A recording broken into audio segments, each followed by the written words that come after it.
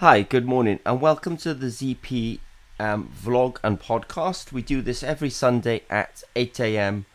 Um, London time, and today with is no exception. And what this is is a sort of roundup of the news from Zimmer and Peacock for the news um, ending this week. So essentially, let me sort of jump straight into it.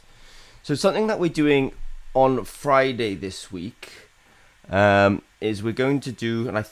We're going to do a live um, streaming demo of our garlic sensor.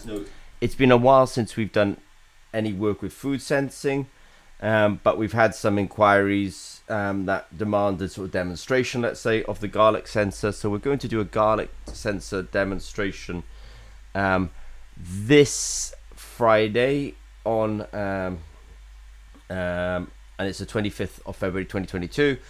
Uh, that will be streaming live on YouTube. So we do have a um, a landing page for this. Um, so if you look up live YouTube streaming demo of garlic, then hopefully you'll be able to find our landing page, in there there'll be a button, and you can essentially come along and see that garlic um, demo on um, YouTube. So that's just a little bit of news from this for this week. Um, we did do our um, developer zone webinar on Thursday. So every Thursday at 8 a.m. London time, we do a webinar. It's often very technical, um, specifically for the members of our ZP Developer Zone. I just want to say hello to Saran this morning. Nice to see you, Saran. Um, and this week we did talk about doing. Uh, we talked about the cortisol sensor. We talked about um, heavy metals, and we talked about detection of methylene blue. So um, if you have technical questions of Zimmer and Peacock, then one of the best places to bring them to is the ZP Developers Forum because we answer those questions um, every week there. Now, um, ZP has also been invited to speak at a um, conference in Norway. Um, the conference, the title of the conference is the Sensor Decade. Now, this is, excuse me, organised by Sintef um, UIO, and also Electronic Coast. So ZP is a member of Electronic Coast, and through that we've been um, invited to give a talk. And so obviously we'll give a talk on um, electrochemical biosensors. I just want to say hi to uh, Aftab. Um, nice to see you this morning, Aftab. Um, so yes, we will be giving a talk. That conference runs from the 1st to the 2nd of June 2022 and Zimmer are delighted to be speaking at um, that conference. Now, some other news from Zimmer Peacock this week. Um, this might be um, interesting to people like uh, Aftab. ZP, we actually distribute a um, a data logger system called Delta T. So Delta T, um, they make a data logging system, and they're quite um, well known in the sort of R and D of agriculture. Um, so they have something that will monitor the soil moisture and the temperature monitoring. And what we demonstrate um, in our video is at Zimmer Peacock, we actually distribute the um, Delta T instrument. You know, we've we've actually sold a few of these, and it has a file format that you can download from the software and then you can actually upload that now into Julie. So it allows people to use their Delta T, which they can get via Zimmer Peacock if they so wish. And however they get hold of their Delta T data, they can then actually upload that to Julie, and it just gives Julie that extra layer of functionality.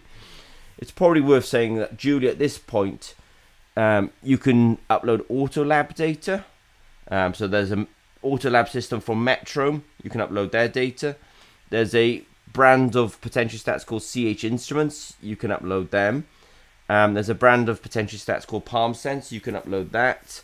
Um, there's the Zimmer and Peacock um, Anapot potentiostat range. You can upload that data. And obviously, you can also do um, this Delta T instrument as well. So, by the time you hear this, you watch this video, we'll probably be uploading a lot more, um, let's say, data from different instruments. So um, we put a video out um, regarding that. Now, something else that's very important to us is Zimmer Peacock. Um, there's a lot of people who are very interested in really sensing things in the environment, um, sensing things in agricultural um, settings. Um, Zimmer Peacock, you know, we have a sort of very large range of biosensors.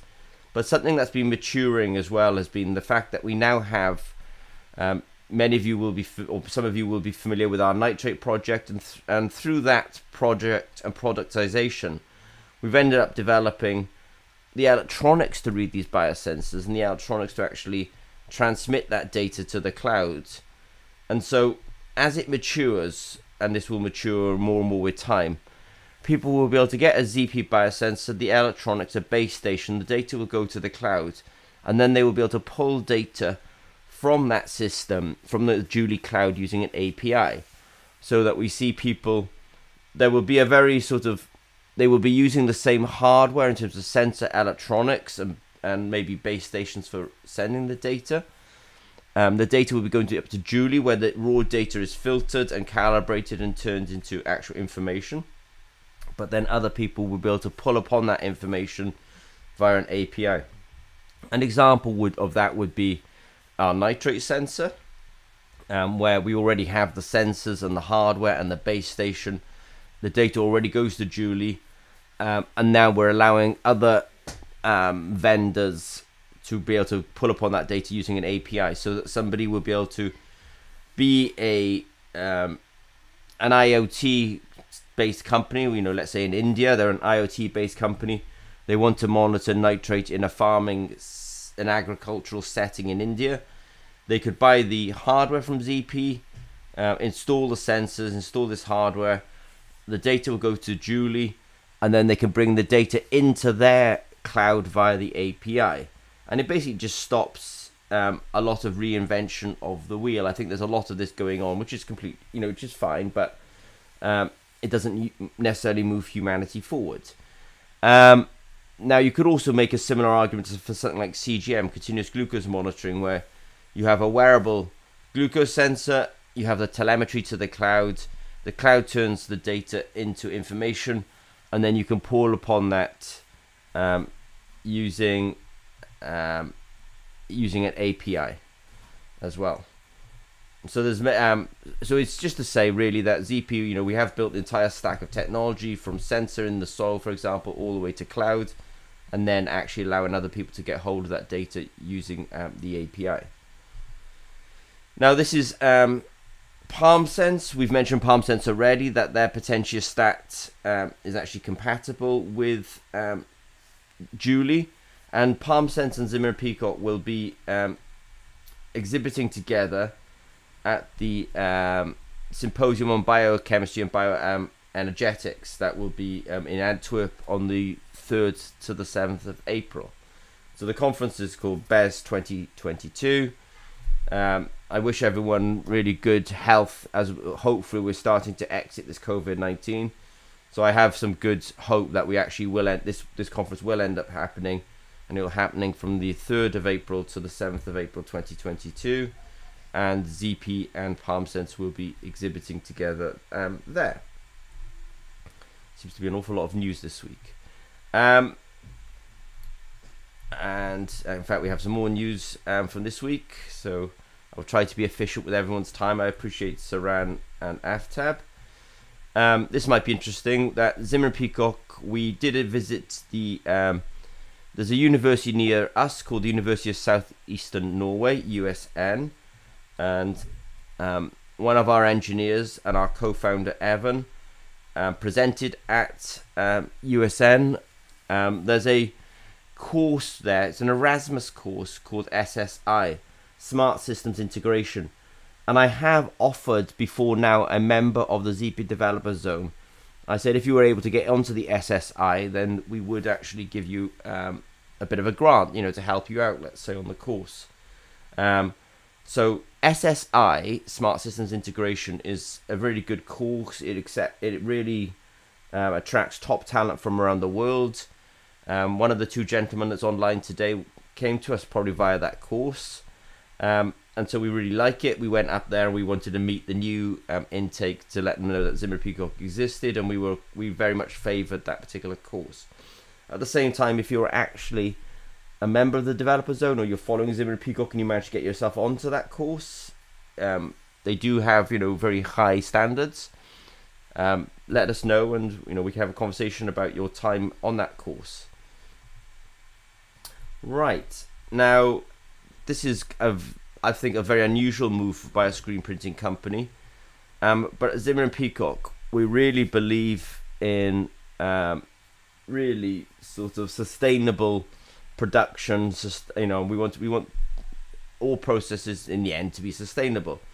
Now, one of the things that we're doing on, on that sustainability part is we're actually um, bringing used screen printed electrodes back into our facility. We're retesting those screen printed electrodes in our facility, and we're then essentially reselling them, but for half the price. So what we're saying is that we'll now the reason we're doing this is because at ZP we are aligned with the UN sustainability goals, and in there it does say responsible con- uh, consumption and responsible production, and so we do make a point that if people return their screen printed electrodes to us, we're going to give them um, a one month access to Julie, and we're also then actually making them those electrodes they return to us, as long as they pass a quality check, um, we're going to resell them. So we're reselling a pack of hyper value screen printed electrodes that are recycled. Rather than it being sort of 199 euros for 200, we're making it 99 euros for 200. So we're hopefully really let's say bringing the price down on that. So it's both good for the planet, it's good for ZP, and obviously also good for the collaborators as well that we're able to offer screen printed electrodes at those kind of um, costs. This is just something that um, we put up there this week. It was called the ZARC element. At ZP, we do quite a lot of um, electrochemical impedance spectroscopy.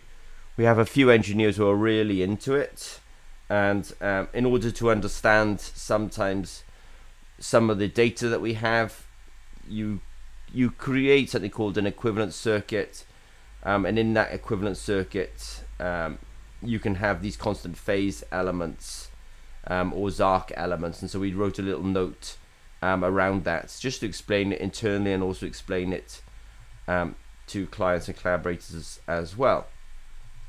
Now, at Zimmer and Peacock, we are offering up things like a sixth month subscription um, to Julie, and if you do that, you will get a free um, Galvano plot potentiostat. We're also offering up a 12 month subscription to Julie, and with that, you'll get a Galvano plot potentiostat and 500 screen printed electrodes. Um, we're also offering up a 12 month subscription to Julie, and with that, you'll get a free um, Sensit Smart potentiostat and 200 electrodes. So it's very important because what we're really doing is selling the um, ZP subscriptions and we're giving away the potentiostat and the electrodes for free. So we do have quite a lot of deals um, regarding giving away hardware in if people are subscribing um, to Julie. So we hope that is super interesting to people. Um, just a bit of news from this week. Um, is a hormone that you find in um, mammals um, at ZP, we have developed a sensor for it, so we've put that sensor um, onto our website. Androstenedione is a hormone, so it's a sort of fairly small molecule, but um, something that we can detect. And then there's also, I think this is really interesting. We were also built a sensor for troponin I. Now, troponin I is a biomarker, quite a well. It's a it is a recognized biomarker for saying whether somebody had um, a heart attack or not. So it's a sort of cardiovascular biomarker. Um, I think the, the the proper term for it is myocardial infarction. If somebody's had a heart attack, attack or in the clinical setting myocardial infarction, then troponin I, they test the blood and see what the levels of troponin I are, and if they're elevated, then they call that essentially a heart attack. And so ZP, we have actually developed a, um, a sensor for um, troponin I as well. So I'm going to do a quick, I say quick now, I'm going to do a, a little summary then of um, the news from Zimmer and Peacock um, in the last week. I think you can sort of tell there's been a lot. So we're going to do um, a live YouTube demo on garlic on Friday. Um, we did have a very good webinar this week. Um, we discussed heavy metals, cortisol, and methylene blue. We are speaking in June at the Sensor Decade, um, organised by Sintef, uh, in part by Sintef, which is a sort of quasi-government research organisation in Norway. Um, Delta T is a range of delta loggers. Um, that's interesting. Um, Aftab is just mentioning online that actually it, um, whether we did um, troponin I, uh, he's done troponin I, and also is it Aptamer based? And the quick answer is Aftab. It's not Aptamer based. It was um, antibody base, But I'd be interested in hearing about the the the Aptamer base. So um, Delta T is um, a range of data loggers. The data can now be uploaded to Julie. ZP has really kind of completed the technology stack from sensor to cloud to API. So that is something now. If we, you know, if people inquire about it, we can definitely have a conversation about that. PalmSense and ZP together at um, BES 2022. That will be happening in um, April. And as I say, there's an awful lot of news this week. And then um, we put some. We went to Z, we went to USN this week, University of South Eastern Norway, Talked to the SSI course, and hopefully recruiting from there. We are recycling screen printed electrodes. Um, we explained the ZARC element and course of the phase elements. We've also giving away free um, Sensit Smart potentiostats and screen printed electrodes now with Julie. Yes, we have made the Androsteno sensor and um, we've also made the troponin I sensor. And specifically to Aftab's point, no, it's not Aptamer based. It's actually antibody based. But I would be interested to hear or send me a paper if you have it on your Aptamer based um, version of this. So thank you very much. Um, that was an awful lot there this week, but thank you to Saran and Aftab, and thank you for you guys who follow on later on on the podcast and the vlog. And if you have any questions of Zimmer Peacock, um, please don't hesitate to contact us. All right, take care, guys. Speak to you soon. Bye bye.